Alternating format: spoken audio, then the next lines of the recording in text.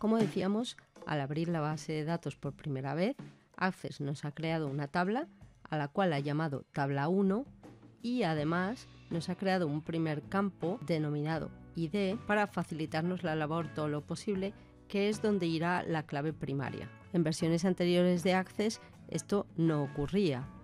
Teníamos que crear la tabla y después crear los campos. En las tablas de Access es muy frecuente que haya un campo que se llama ID, donde aparece un número de identificación del registro que suele ser único, que no se repite para cada uno de los registros. Eso es lo que llamábamos clave primaria. Para cambiar el nombre de esta primera tabla, ya que nosotros queremos crear nuestras propias tablas, lo primero que tenemos que hacer es guardarla, ya que haces la crea, pero de momento no está guardada. ¿Cómo se guarda una tabla en Access? Pues pulsando el botón del disque en la barra de acceso rápido. Aquí pondremos el nombre de la tabla y la vamos a llamar datos personales. En el nombre de las tablas podemos dejar espacios en blancos, pero para ahorrar espacio en memoria RAM es mejor ¿vale? que escribamos cada palabra separada por mayúsculas y sin espacio. Bien, le damos a aceptar y ya vemos cómo nos ha cambiado el nombre de la tabla. Más cosas. Una vez que hemos creado la tabla, Access nos ha creado un campo que se llama ID, pero ¿y si yo quiero que ese campo se llame de otra forma o no lo necesito? ¿Qué es lo que hay que hacer? A la hora de construir o modificar la estructura de una tabla, podemos hacerlo de las siguientes formas. Si pulsamos el botón de ver con forma de escuadra o cartabón, en la flechita de abajo, vemos que tenemos dos vistas. Vista hoja de datos y vista de diseño. Vista hoja de datos es como por defecto nos ha abierto Access la tabla. Y en vista diseño, que es esta otra, a mí me gusta crear la estructura de las tablas en vista diseño porque podemos especificar el tipo de datos, añadir descripciones, que ahora veremos. Si queremos ir otra vez a vista hoja de datos, pulsamos en el mismo botón que ahora tiene aspecto de tabla. Podemos ir cambiando las vistas de la tabla desde este botón y también desde los botones de aquí abajo a la derecha. Aquí estaríamos en tabla y aquí estaríamos en vista. Una vez que estamos en vista de diseño, si nos fijamos, nos aparece en esta cuadrícula el nombre del campo, el nombre del primer campo que ha creado Access por nosotros, ID, y vemos que tiene una llavecita, que es la clave privada. Y a la derecha tenemos el tipo de datos que pone autonumeración y después una descripción. Bueno, primeramente vamos a cambiar el nombre a este campo. En lugar de llamarlo ID, le vamos a llamar número de alumno. Según se van registrando los alumnos en el colegio, les vamos a ir dando un número. Como os he dicho, el nombre de un campo puede llevar espacios, pero ya hemos dicho que esto no es muy recomendable, sobre todo a la hora de crear macros y crear módulos. Podemos también, por ejemplo, escribirlo de esta forma, n-alumno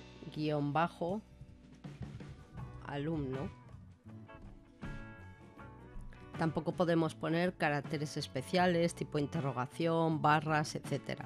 Vamos a crear más campos. Vamos a crear un campo nombre.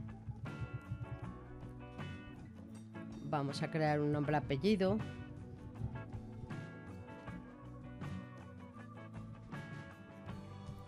Un nombre dirección.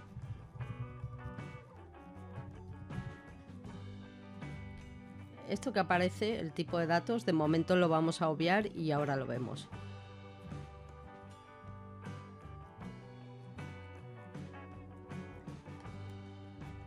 Para ir de una fila a otra puedo ir o bien con el intro o bien con el ratón. Edad.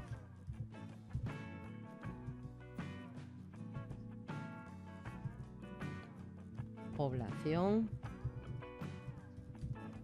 Imaginaos que son estos los cambios que necesito en la tabla. Esta tabla ya tiene seis campos, número alumno, nombre, apellido, dirección, edad y población. Una vez que hemos creado la estructura de nuestra tabla, vamos a guardarlo pulsando el disquete en la barra de herramientas de acceso rápido para guardar los datos y podríamos cerrar la tabla en su correspondiente X aquí Esto nos va a permitir cerrar la vista diseño de esta tabla que hemos creado y darla ya por terminada o diseñada. Pero por supuesto luego la podemos modificar. Y aquí en este panel de la izquierda tenemos el panel de objetos de Access, donde aparecerán todos los objetos que vayamos creando, tablas, consultas, formularios, etc. Vamos a cerrar la base de datos para ver cómo la abrimos después, aquí en la X. Nuevamente X para cerrar Access.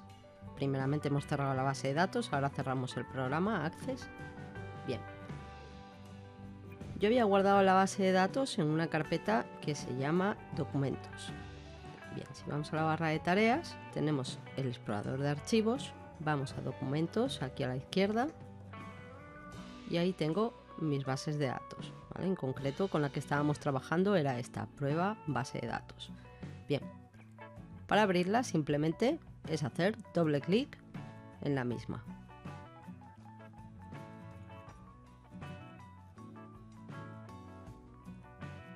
Y por tanto se nos abrirá nuestra base de datos.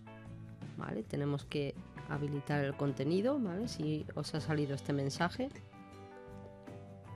Y tenemos aquí en el panel de objetos la tabla que, con la cual estábamos trabajando antes. Otra forma de abrir eh, esta base de datos. Bien, voy a cerrar. Voy a cerrar también el explorador. Y si recordáis, para buscar Access íbamos a inicio y buscábamos Access aquí. Bien, hacemos doble clic. Se abre la aplicación de Access, como la abrimos al inicio de este vídeo. Y ahora mismo aquí tenemos las bases de datos con las que hemos trabajado recientemente. También podemos abrir una base de datos accediendo al explorador de archivos también, pero desde la aplicación. Bueno, como la tengo aquí, pues puedo hacer doble clic. Y nuevamente se abrirá mi base de datos. Para continuar con el diseño de la tabla, además de los campos que creamos antes, queremos agregar más cosas, queremos renombrar un campo existente o queremos hacer alguna otra modificación. Bueno, tenemos varias formas de abrir la tabla. La más sencilla es poner el ratón encima de la tabla, hacer botón derecho y aquí tenemos abrir la vista de diseño. Y así podemos continuar construyendo la estructura de nuestra tabla. Por ejemplo, queremos añadir un campo más. Observaciones.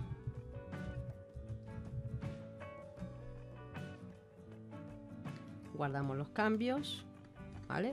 Y ya está.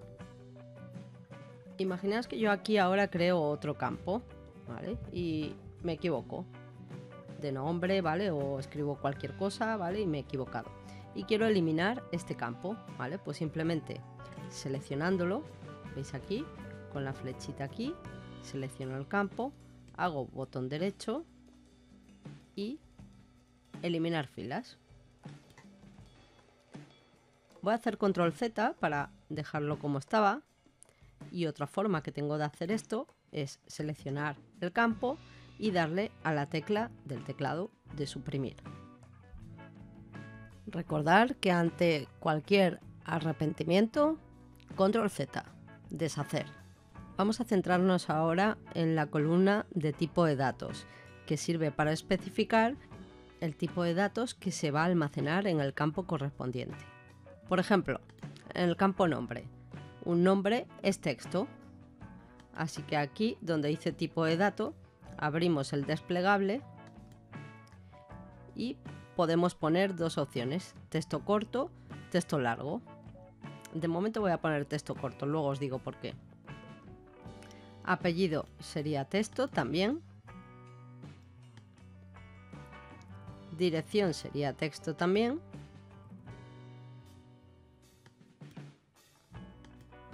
edad va a almacenar valores numéricos, con lo cual pondría número. ¿Qué ocurre si dejo la opción de texto? Aparentemente no ocurre nada. Yo puedo poner valores numéricos, pero que él los guarde como si fueran texto. La utilidad sobre todo es en un futuro a la hora de hacer consultas y sobre todo también si se quieren hacer cálculos con los números. Imaginaros, yo podría querer hacer una consulta que me diga los alumnos mayores de 12 años. Pues si este campo en tipo de datos yo lo hubiera puesto como texto, no podría hacer esto. Así que es muy importante cambiar el tipo de datos. Población sería texto, también texto corto.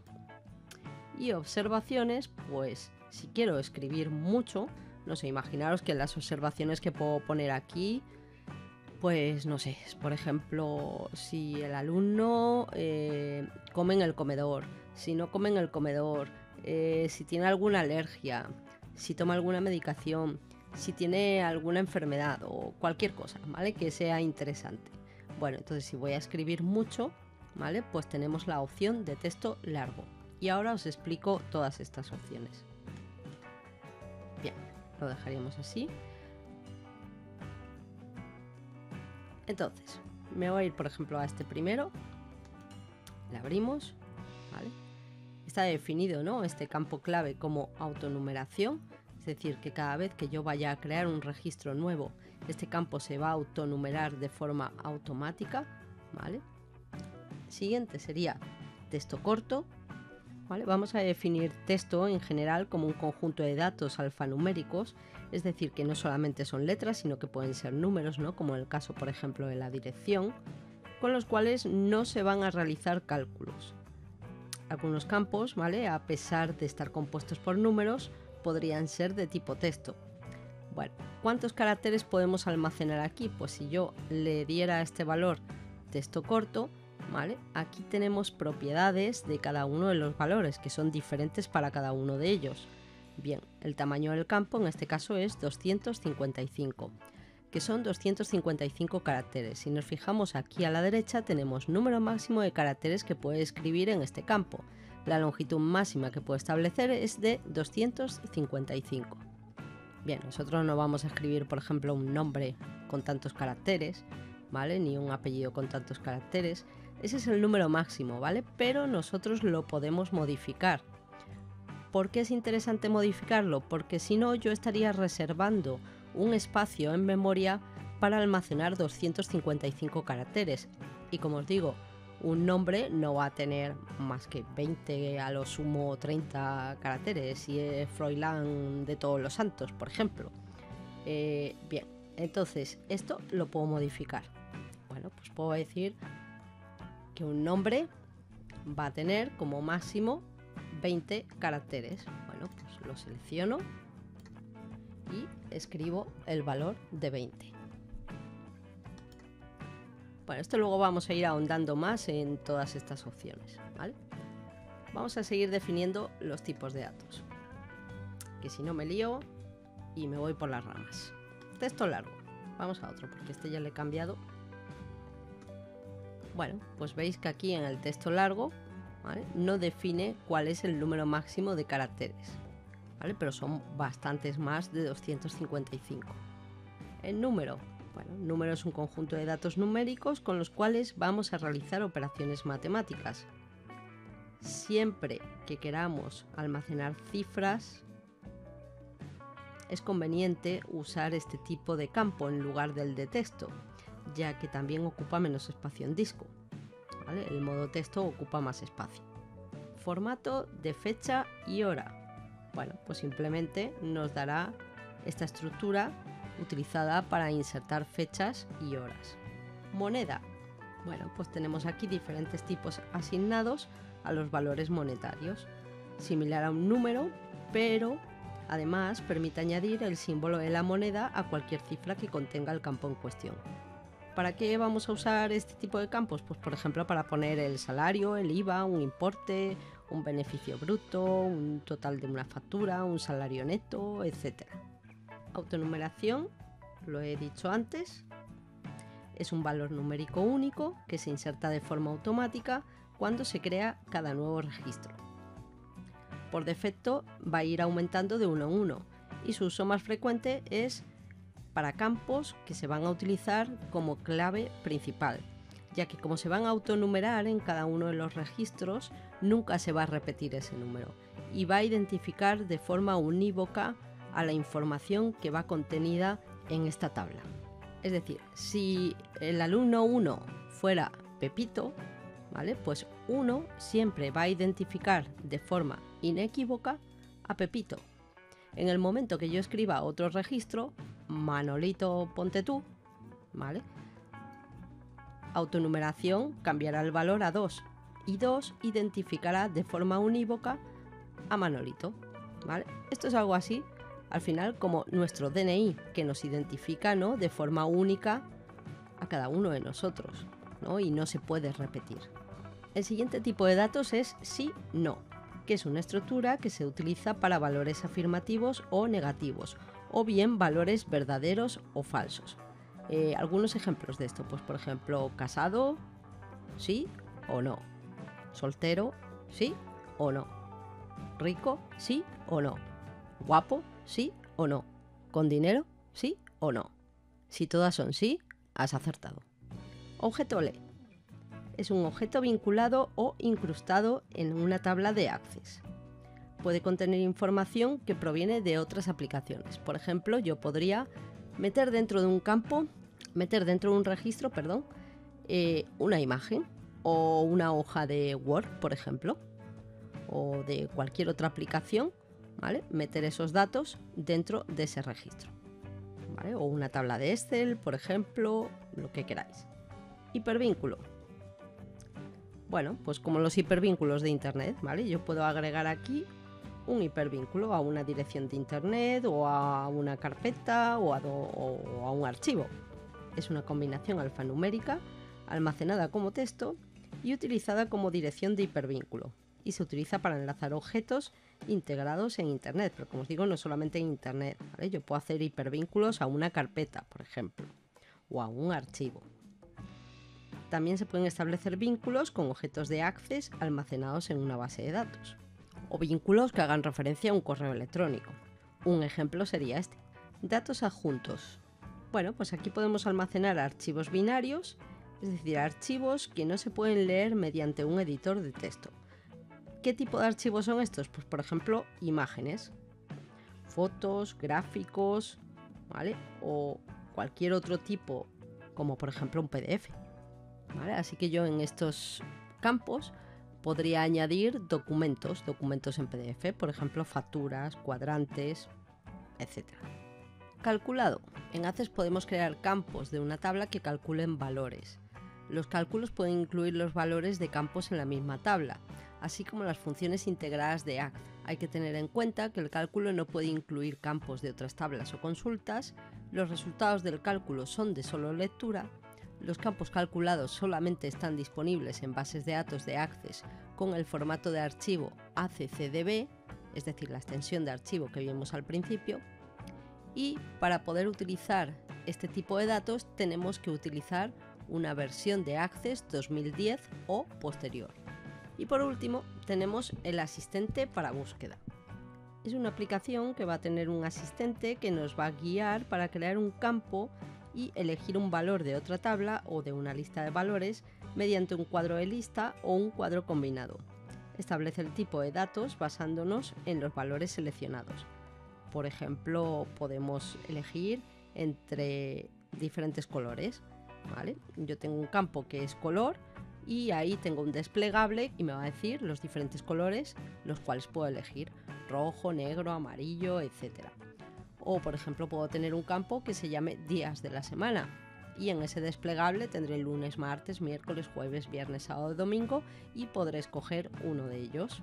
En la página de Microsoft podéis encontrar un listado detallado del tipo de los datos, sus características y el tamaño que ocupan que como os he dicho antes, se puede modificar en casi todos los casos. Tenéis para texto corto, 255 caracteres, como hemos dicho, texto largo, que antiguamente se llamaba memo, tiene hasta un gigabyte de texto, limitado inicialmente a 64.000 caracteres. Número, número grande, bueno, esto normalmente pues para poner números, por ejemplo, en formato científico o cosas así. Fecha y hora, moneda, autonumeración, eh, sí o no, ¿vale? Simplemente es un byte. Un byte, recordaros que son 8 bits y cada bit eh, corresponde a dos valores, 0 o 1. así que sería una combinación de 8 números que pueden ser ceros o unos. Objeto lee, ¿no? que podíamos insertar o incrustar imágenes, ¿vale? o una hoja de Excel o cualquier otro tipo de archivo.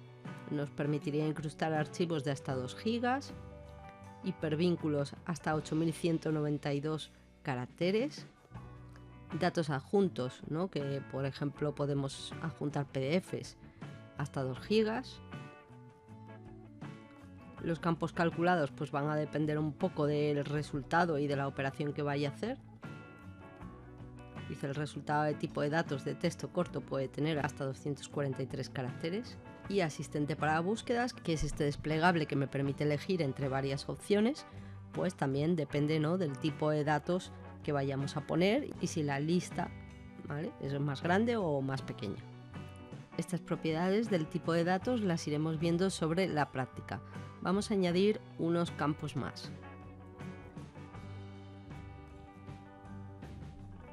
Por ejemplo, beca, para especificar si el alumno tiene beca o no. Y le vamos a poner de tipo sí, no. Vamos a juntar un campo de tipo foto para que tengamos un poco de todos. Y este va a ser de tipo ole.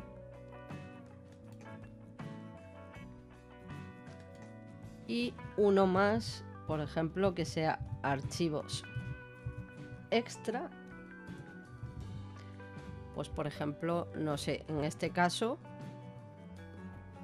pues por ejemplo en este caso si tenemos que añadir, pues no sé, algún documento, algún informe médico del alumno o alguna otra cosa. Y le vamos a poner de tipo datos adjuntos. Vamos a ordenar un poco los campos porque como veis yo he puesto campos aquí pues que igual estarían mejor en otro orden. Vale, por ejemplo he puesto dirección, después edad y después población. Así que población lo quiero cambiar a donde está edad. Para esto seleccionamos con el ratón, pulsamos el botón izquierdo del ratón y movemos el campo hasta donde lo queramos. ¿Veis la rayita que sale? ¿Vale? Pues justo ahí debajo de población. Y también quiero cambiar el de observaciones al final, pues lo mismo. Lo selecciono, lo pincho con el botón izquierdo del ratón y lo llevo abajo.